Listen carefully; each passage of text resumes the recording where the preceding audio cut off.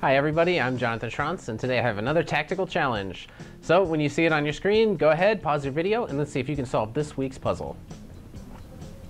This is a position that arose from Alexander Moiseenko versus Lu Shanglei from the World Rapid Championship in Dubai 2014. So go ahead at this point, pause your videos, and see if you can find the amazing tactic that Moiseenko was able to find in this position.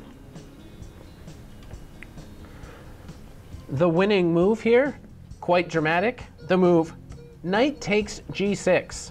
White is way ahead in development, and the black king is a little iffy, so white takes the opportunity to open him up. Black took the knight, and again, go ahead, see, make sure you got this move right. Now comes queen takes h5, a very dramatic sacrifice, and it cannot be taken. Uh, for example, if you take it,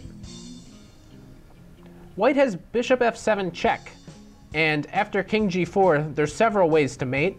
Um, so let's just look at one. After f3, king g3, king f1, you're hopeless. Any move you play, rook h3, checkmate.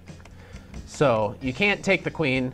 In the game, he decided to go back, and well, this position is just really bad for black.